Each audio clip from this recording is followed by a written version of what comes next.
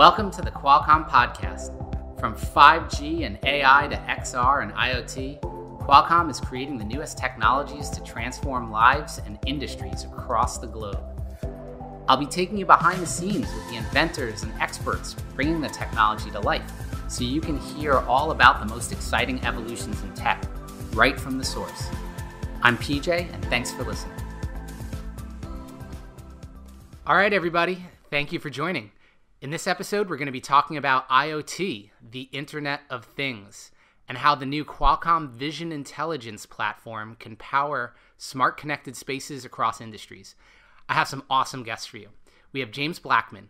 He's the editor of Enterprise IoT Insights, and we also have Megha Daga, who's our Qualcomm Technologies Inc. Director of Product Management, heading up AI in IoT. Thank you, both of you, for coming in today. I really appreciate both of you coming in here. And I think I'd like to uh, start by just getting some uh, high-level thoughts on the state of IoT right now, um, as it and especially as it relates to camera intelligence. It seems like the IoT products that are coming out right now all revolve around uh, camera. Uh, Megha, am I right about that? Yep, that's certainly right.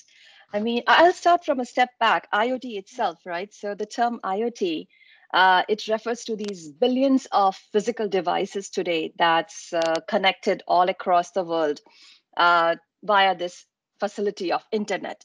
And the way we are using them is by collecting these tons of data and sharing that data around.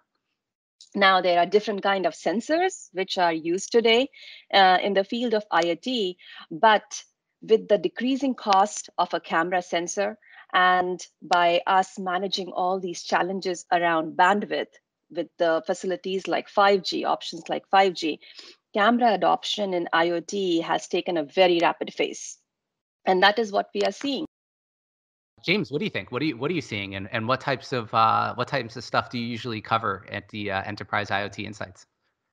Yeah, so I mean, I, I, I agree completely. I mean, I think you know, 2020 has been a weird year, right? I mean, I think uh, and from a point of view of IoT, I think it's kind of moved along two tracks. So I think uh, a lot of the traditional business around IoT and kind of low-level sensing has has fallen away to an extent. I mean, I think as as industrial sectors have gone into lockdown, I think you know business has stopped in a way. But I think at the same time, as Megha said, you know, with with COVID, there's been a rise in certain new IoT applications, you, you know, related to the pandemic you know, such as track and trace and thermal cameras and, and vaccine tracking and th- some of these types of things.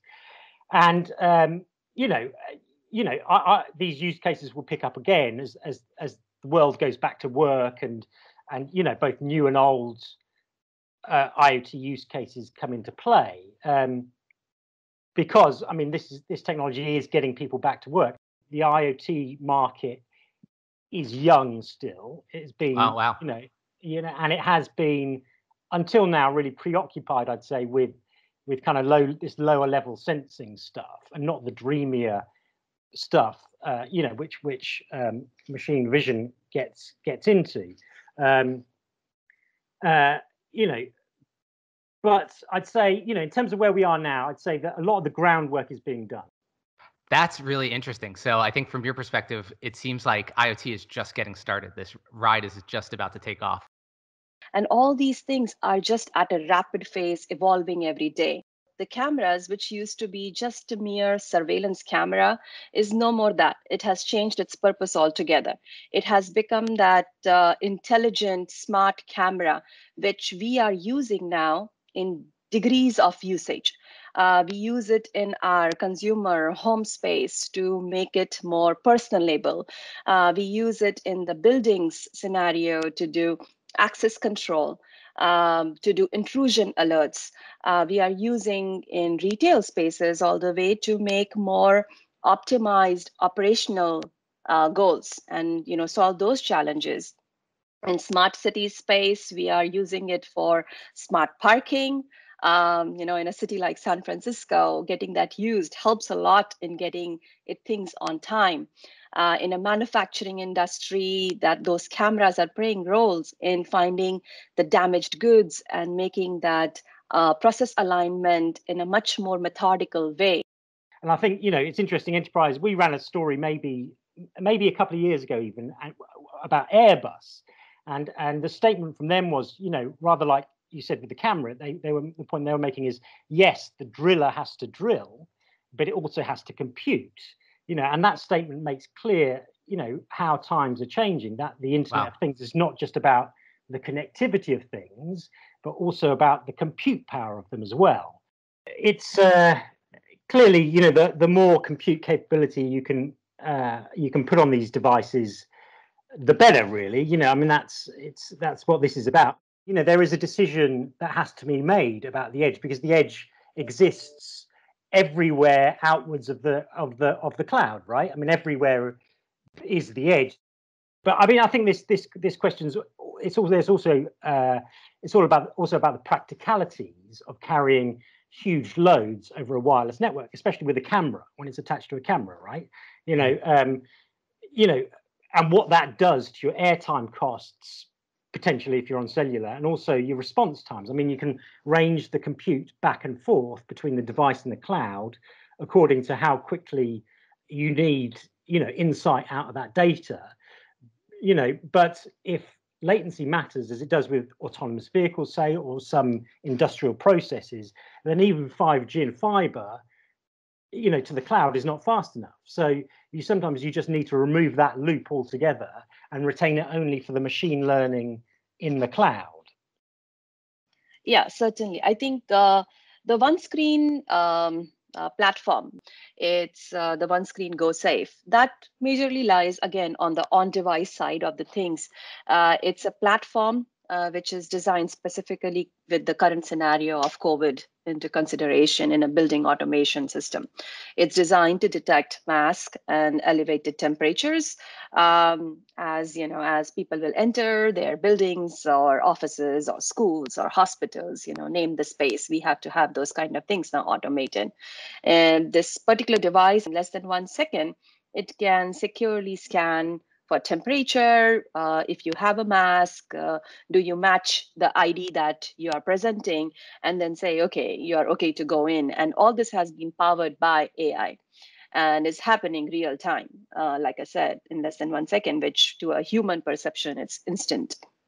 So um, that kind of platform, which is already in a pilot uh, you know, pilot deployment phase in uh, Qualcomm Smart City campus in our buildings uh, is already there and helping out in current scenario. And those are more so on the uh, device side. So yeah, it sounds like it's, it's not just collecting data; it's collecting data and then analyzing it real real time, exactly, and then making things actionable. Yeah. So I've got, I've got a good uh, I've got a good use case. Um, Go for it. Which I like, which was quoted to me way back. Where, yeah, and this is like this is like the the most out there one I know, the most you know, impre- immediately impressive, if you like. And there's a there's and it's fairly well known. So there's a company, Swiss company called Bühler. I don't know if you know them, which has this kind of optical sorter machine to punch out bad corn kernels falling falling in front of a in live time, falling in front of a camera sensor. So okay. you know they get fed from a truck into a hopper and into a chute and they fall at about three or four meters a second, like a waterfall of yellow corn. Mm. And the cameras project a light onto this onto this waterfall of corn to show up a, like a fluorescence in, in the bad corn kernels. And these air jets shoot them into a like a reject bin as they fall. And all of that, the data capture, the data processing, the data insight, all on is all on the camera camera device. You know, and so that that seems, you know, that's a pretty amazing illustration to me of, of the kind of potential of this. That's pretty incredible. Yeah. That's that's wild. Uh, James, that's a pretty futuristic um, and bleeding edge example. Um, what do you think we should look for next in this space and just keep an eye on?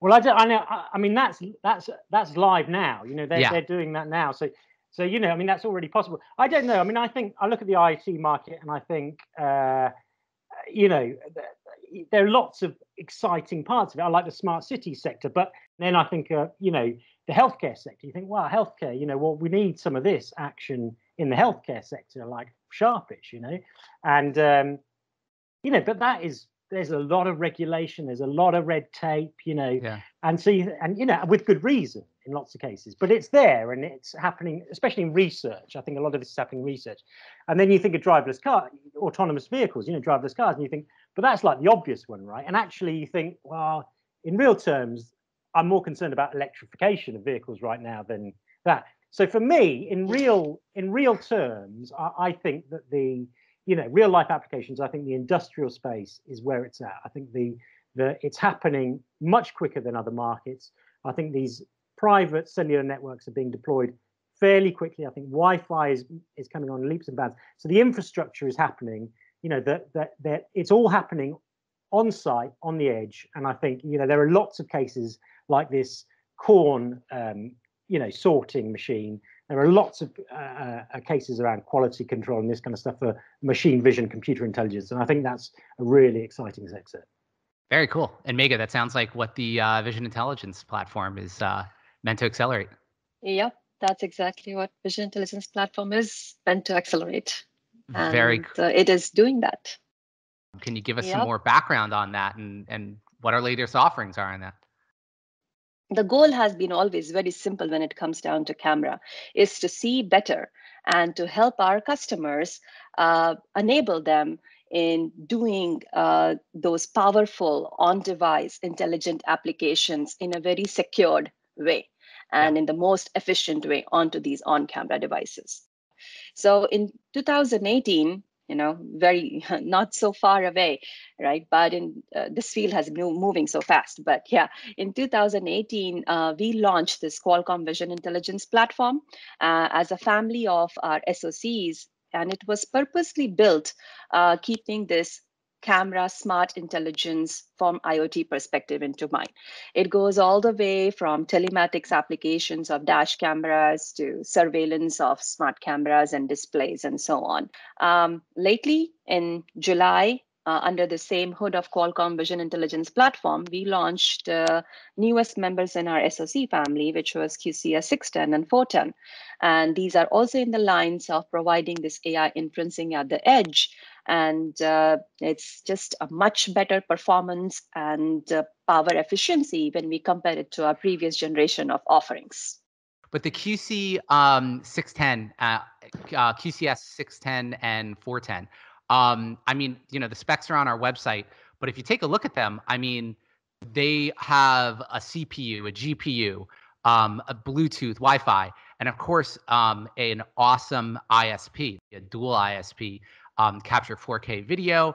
Um, I mean, this the the amount of compute power that's in this is kind of like basically what a flagship Snapdragon chip that was in a smartphone a few years ago had, and now this is uh, trickling down to these tiny I- IoT products. Uh, so, where could people find out more about the uh, Vision Intelligence platform? Um, on the Qualcomm website, uh, if they go and they look into, uh, you know, search for, if you go into the IoT sector, it will pop up with these latest announcements. And once you're on the QCS 610 announcement, you will directly get into it.